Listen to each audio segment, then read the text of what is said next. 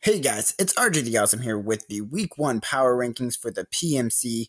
And while usually I would be joined by Espalancer, um, he has not returned yet from his uh, move to um, Japan. And by returned yet, I mean he hasn't um, gotten everything ready to where he could go on at line and start recording and stuff. So this time I will be joined by Choice CJ. Hey guys, it's your friend Choice CJ here, and uh, thank you to RG and to the PMC for having me. All right. Well, um, how about we go ahead and get started? Um, so I guess first off, um, for week one, unfortunately, we did have one match that was not able to be played. That was between the Hampton Hydreigons and the Dallas Manectrics. Um, so RG and I decided to leave them out of the rankings this week uh, just because uh, you know it wouldn't truly be fair to compare them to the other teams that are in the league since they haven't shown us any results yet. Um, how do you feel about their teams just as the way they're constructed, RG? Um, I actually really like them. Um, putting like team base wise, I would say that they're uh, within my top five, maybe top three. I, I really like their teams though. It was a shame that we didn't get to see the match. Yeah, unfortunately, you know, sometimes life gets the better of us, and uh, Jspeckz had some factors that were outside of his control that prevented him from playing his match. But uh, I do agree, they have really cool teams. Um, uh, Specs has a really uh, pretty bulky team with Pokemon like Tangrowth and Slowking, uh, Cofagrigus and Miltank, but he backs up that bulk with some really great wall breaking ability with things like Thundurus T and Mamoswine. And then uh, for Dallas, uh, Lucky Lad has a, a, pretty versatile team with Pokemon like Jirachi, Sylveon, Crobat, some really fearsome wall breakers like Darmanitan, and uh, also Mega Glalie. Uh, so we'll have to be on the lookout for them for week two so they can really show us their skills um, and uh, try and crank out a win for each of them. Um, anyways, on to the countdown. At number 10, I have the Colorado Rapidash. Um, why I have them low is because in the match against the Misty Drapions, um, they made a few questionable plays that I didn't really think worked. Uh, for example, shadow sneaking a Star Staraptor with a Kecleon. Um, and I, I like a lot of the times when I see a play I don't agree with, I try to like um, correct it in my mind. Like, well, maybe he was predicting this, but I don't see any circumstance where shadow sneak would have worked there. Um, I do believe in his video that he said that he thought it was a fighting flying type, but um, those are oh, some. Great if it were. That'd be such awesome typing. Yeah, man, Mega Staraptor. Uh, but um, let's see it happen. But uh, those are some mistakes that you can't really make. Um, otherwise, it's going to cost you like it did uh, him. Um, what about you? Um, yeah, so I'm, I'm in a kind of agreement with you in terms of the Rapidash. The, there were a few questionable plays in, in the game. Um, and, and, you know, as I go through this list, I'll, I'll, go ahead and say, you know, take it all with a grain of salt because I don't really know these people personally. So, you know, it's no hard feelings to anybody. But um, there were a few questionable plays. There were a few moments in the game where I thought that, um, and this is true of both sides, you know, people could have taken opportunities to switch out their Pokemon and uh, try and gain some momentum. But uh, didn't see that happen maybe as much as I would have expected. Um, but I do have them ranked at number nine um, because uh, you know I'm a big fan of Pokemon like Weavile and uh, Togekiss and Rotom Heat in this format, and also Mew. Um, Mew has the ability to be very versatile. Um, hopefully, uh, Dr. V can use Mew a little bit better. Uh, and the next week, uh, Mew ended up going down to uh, Greninja uh, with a combination of I think Waterfall and Night Slash. Yeah. Um, but for my for my number 10, I have the uh, Sydney Krookodiles, um, who uh, kind of, you know, this is kind of a tough ranking for them because they had probably the hardest week one matchup of any team going up against the Tampa Bay Froggadiers.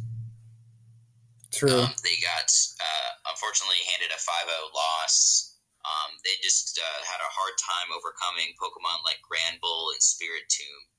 And uh, got at you know got at it beating getting beat pretty badly, unfortunately. So I'm really excited to to see if the Krookodiles can bounce back next week against um, their next opponent, who I believe is the uh, Miss uh, sorry the uh, Hampton Hydreigons. I, I think that sounds right, but um. Yeah. For number nine, I have the Kansas City Kingdras, and um, I felt like he like I know um, Kingdra plays games from a different league, and I feel like he didn't really play to the best of his abilities, like to what I've seen him play. Um, I understand that he hasn't like he does. This is his first time battling Phantombass, but um, in the other league, I saw him battle people for the first time too, and he he played a lot better than I think he played this time. Um, I don't know if it was because it was on Wi-Fi instead of Showdown, but um, I feel like he's capable of doing more. He just didn't show that this week. Right. Yeah, I agree, and um, I actually have uh, the Kingdras ranked a little bit higher because um, I, I, really like their roster. They've got a really great Firewater Grass core with Venusaur, Arcanine, and Vaporeon. Um, I would in general agree with your criticism, though. There was a, a moment in the match where um, there was a double switch on both sides, and Tornadus came in for the Kingdras, and Victini came in for the Escavaliers. And um, he mentioned in his commentary that um, he was thinking the Victini might be scarfed. Um, but the tornado stayed in and got taken down from 100% health down to zero. Um, so I think that's kind of what you're saying. You know, it's an example of uh, you know maybe in a different week uh, he wouldn't have made that play, but this week he just didn't uh, didn't make that the right play just in that scenario. So if he can really take advantage of his roster, I think he'll have the ability to bounce back uh, and uh, make his way up the uh, up the power rankings. Yeah, I can see that. Um, well, anyways, that's enough with the uh, bronze ranking. Let's move on to the silver ranking. Um, for number eight, I have the Chicago Cubchoo, um, coached by Yuma.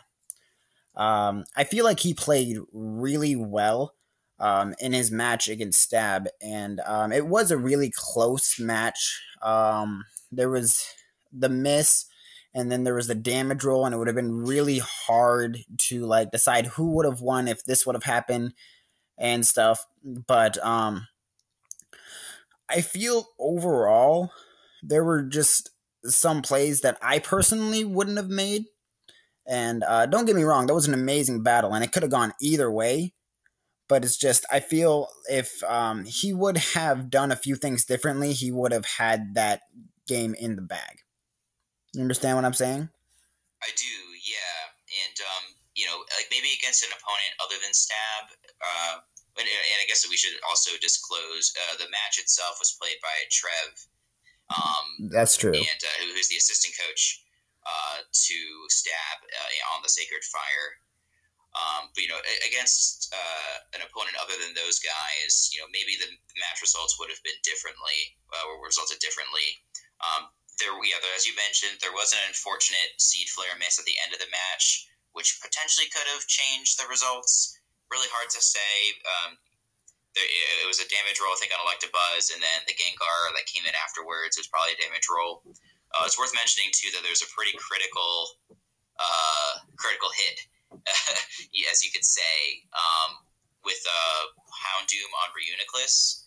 Um, I'm not 100 percent sure uh, what the Reuniclus could have done in retaliation to Houndoom. But if he could have swapped out the Reuniclus and saved it for later, I bet he could have found a way to recover up on Mesprit or um, Electabuzz or something and be a factor for the rest of the game. So losing the Reuniclus in that way was really tough. Um, so for that reason, I put him just one spot above you on my rankings. I put him at um, number seven instead of number eight my number eight is the Pittsburgh Steelix, and um, I thought that they would um, be able to take on the Jersey Dwebbles just a little bit better. Uh, the Dwebbles have a, lot of unfortunate weaknesses on their team, a lot of four times weakness weaknesses with uh, Pokemon like Swampert and Forretress and um, stuff like that. Uh, but he was unfortunately not able to to close out that win. Um, he, he used Pokemon like Gastrodon very effectively, which is really cool, and Eelektross was able to uh, have a pretty good impact. Um, but uh, you know, unfortunately, he just wasn't able to come out with the win. So I'll be looking for him to rebound in the next week. Yeah, um, I, I, I don't know. I have him a lot higher, and I'll uh, talk about that later. But um, for number seven, I have the uh, Sydney Krookodiles, and um, as you said, they had a really, really tough matchup going up against the Verd. But um, something I really saw was I saw a lot of potential from them. Like they made some uh, decent plays that I that I like wouldn't have thought of myself. And um, while they're a little, it seems a little inexperienced at some points. I feel like um, if he preps hard enough and he thinks more about what he's going to do, I feel like he's going to do really, really well in this league.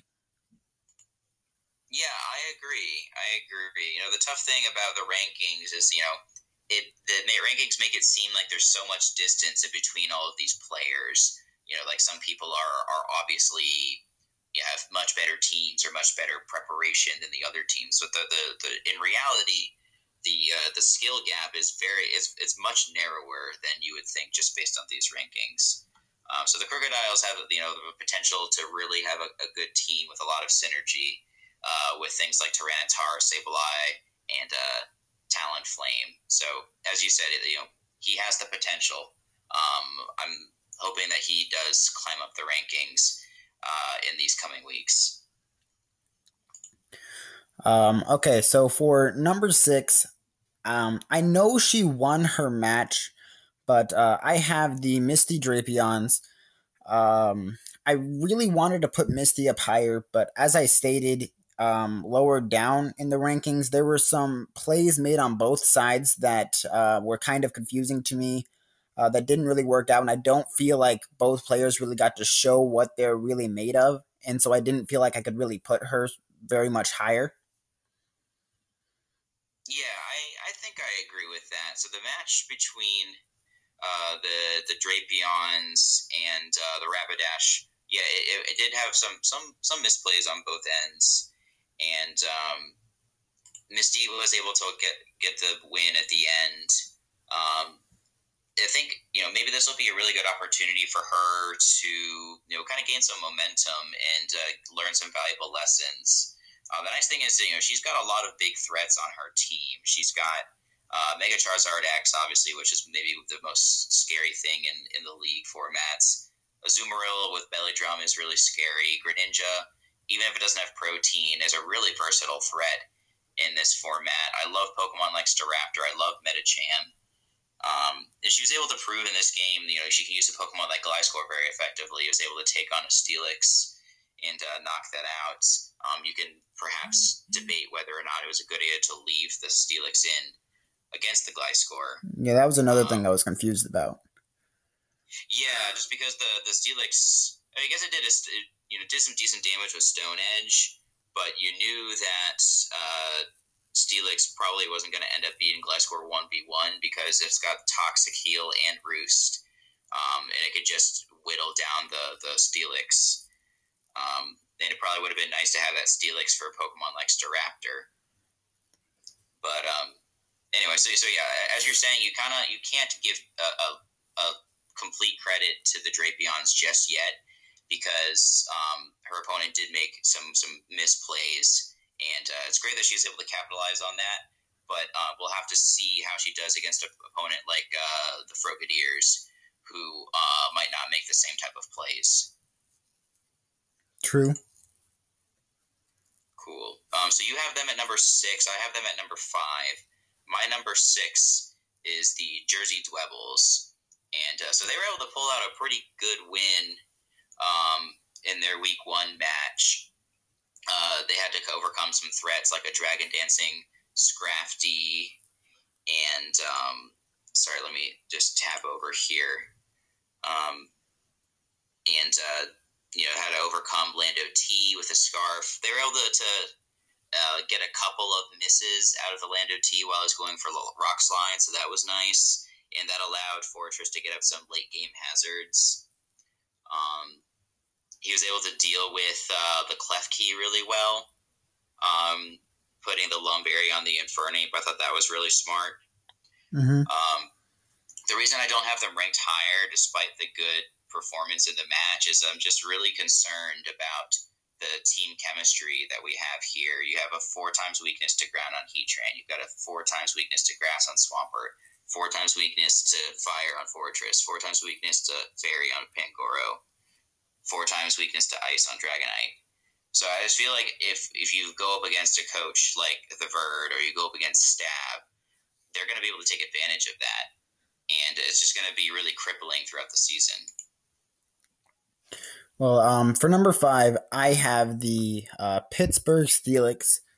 And um, I don't know. I feel like the Steelix and Dwebbles match was by far the um, most intense and like shifting match. Like there were parts of it where I'm like, oh my gosh, the Steelix have got this, and then the Dwebbles will come out of nowhere and uh, take the lead, and ended up getting like super close to where um, just um, some defense investment into a Gardevoir uh, gave the Dwebbles the match. And um, yeah, the, the Gardevoir took that rock slide like a champ. Yeah, and like there were some good plays. Um, uh, for example, um, figuring out that the uh, Zapdos was scarfed when he went into Slowbro and knew that he couldn't, like that was I don't know if that was intentional because I ha- um infrared side isn't up at the time of this recording, but um, I feel like that was a really, really amazing play that really gave him uh, insight on the Zapdos. And uh, like this way, he knew how to deal with it. If it went for Thunderbolt, he could go into the Lando. If it went for Hidden Power, he knew Slowbro could take it no problem. Um, I don't know. That was that was a really good highlight in that match for me. Yeah, and the other thing I really liked was the Calm Mind Klefki. I thought that was really clever. Oh, that's true. And um, and uh, you know it could have done some good damage if not for good preparation on the Dwebbles' part with the Lum Berry Infernape. Yeah, that was that that that threw me so off guard because you never see an offensive Klefki, and then here it is. yeah. So if he can bring that kind of creativity each week, uh, he's going to score some wins for sure. Now let's move on to the top four or the gold rankings in which um, I have the Jersey Dwebbles.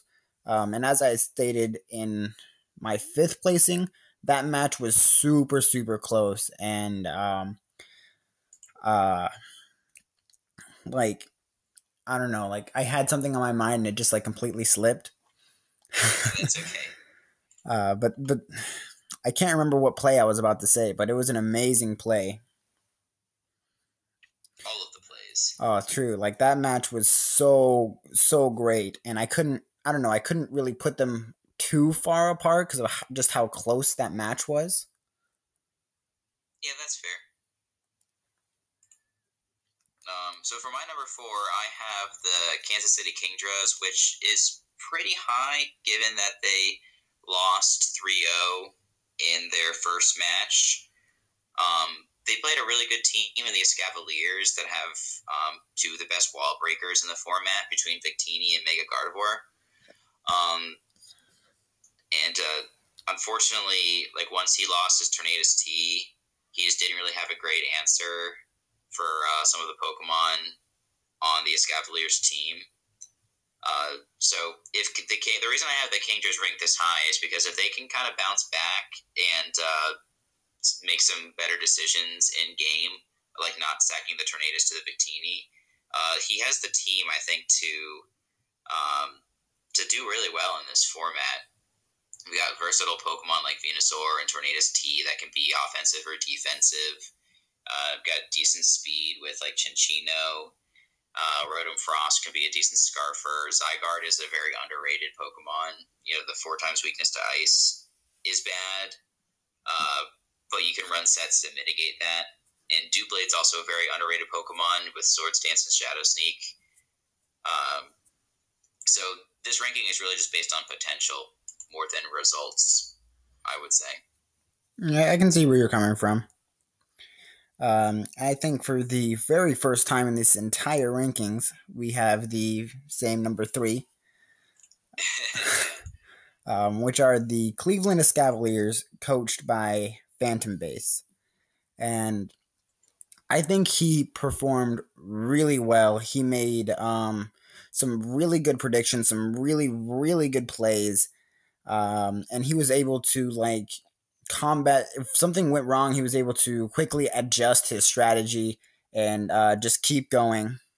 And um, i feel like out of all the matches i think he kind of um, overcame his opponent that like i thought that match was going to be the closest uh, out of all the matches. And then it just kind of just started to spread and he kept momentum for most of the match and I don't know. I think that was uh, really impressive. Yeah, I agree. Um, you know, he you know he used Pokemon like Avalugg very well, um, being able to land a Toxic on the Vaporeon, which uh, you know they did end up uh, heal heal off, but it put a lot of pressure on the Vaporeon. Um, Victini getting a lot of great kills, you know, just uh, you know, Victini is just such a good Pokemon, eh, you know, in the format. People say this all the time, so I feel bad for repeating just what other people have said. um, but there's just not a lot of answers for for V Create, and there's not a lot of answers for just the the coverage options that Victini has.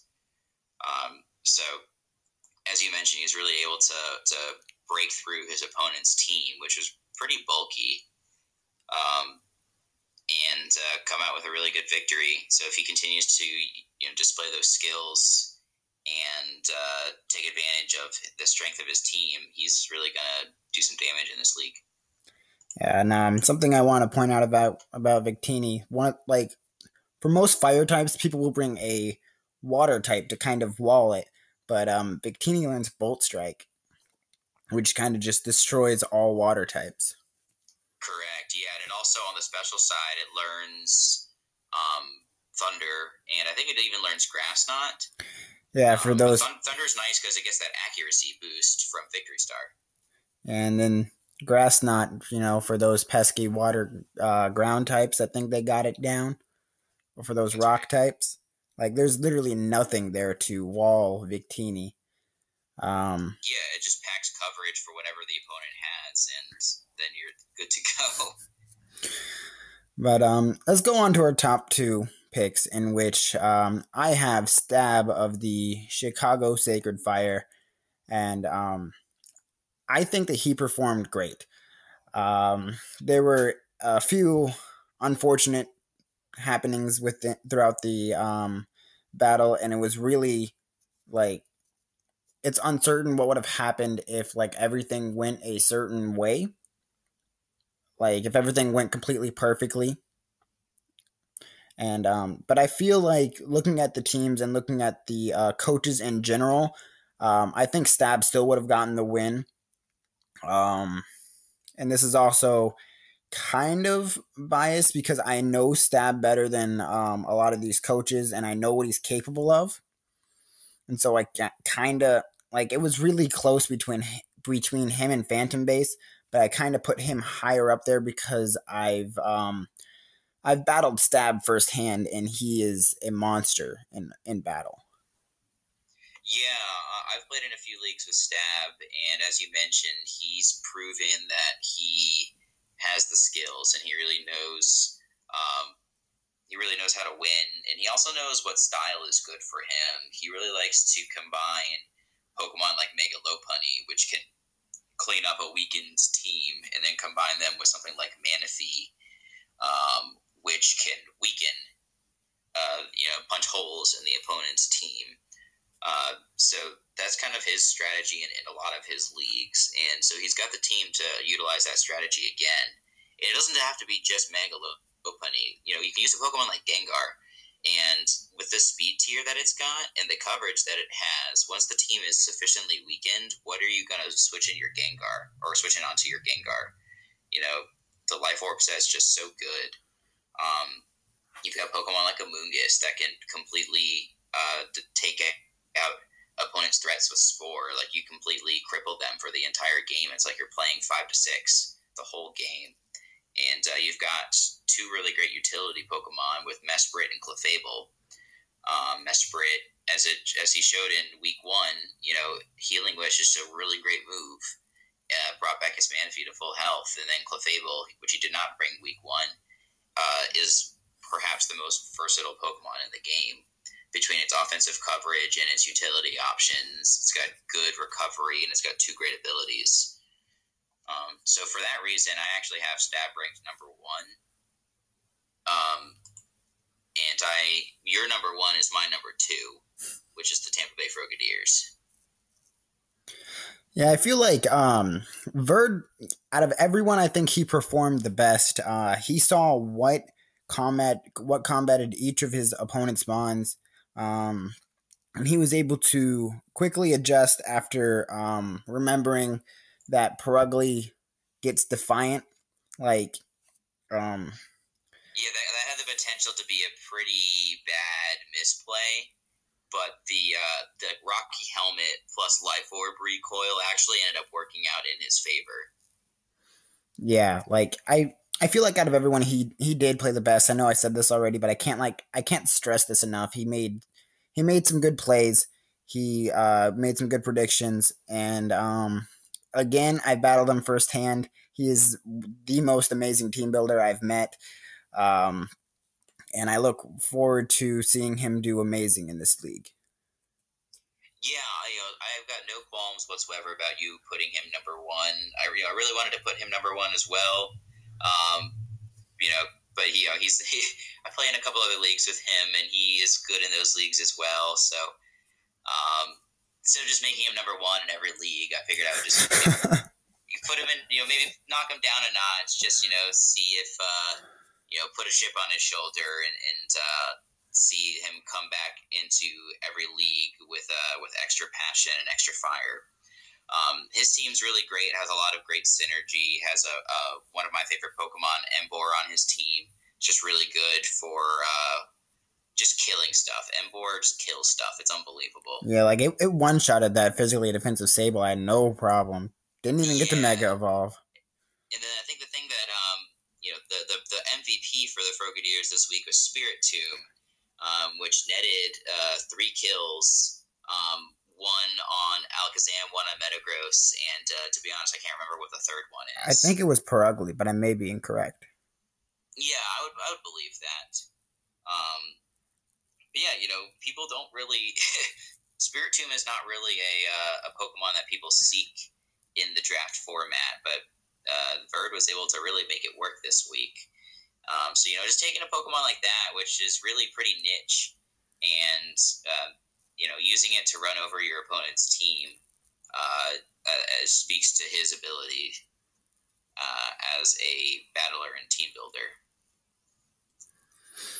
Yeah, um, overall, I feel like all twelve of these teams have so much potential, and the um, the rankings could really change in any way. Like, um, who knows? Maybe Verd will be at number 12 next week because um, everyone else shows how amazing they are. Um, but no, I, I, see. I don't see anyone going um, undefeated, but I don't see anybody going with zero wins. Like I yeah, feel, I agree with that. Like everyone it's, here um, is about like evenly matched, and I'm I'm really looking forward to seeing how the rest of the work, the rest of the weeks go on. I agree, and, and you know, I made this comment earlier in the video. Uh, you know, it might seem like there's a big difference between one and twelve, just because that's a lot of numbers, you know. But the the skill gap is really a lot closer than what you might think, just based on looking at numbers. Uh, the the you know, there's the there's a lot of ability for people to go up and down on this. Um, you know, and if you're ranked one spot below another person, you know, that doesn't mean that that other person's objectively better or their team is is stronger. You know, everything is kind of uh, there's some fluid. You know, there's some flexibility in the rankings. Um, so as the season unfolds, definitely see some things shake out. There's going to be more great games. There's going to be more upsets, and uh, I I can't wait to see all of the results. Well, um, anyways, guys, um, go ahead and leave your comments. Uh, leave your own power rankings if you want. Um, but you guys stay awesome. I know we will, and I will see you next time.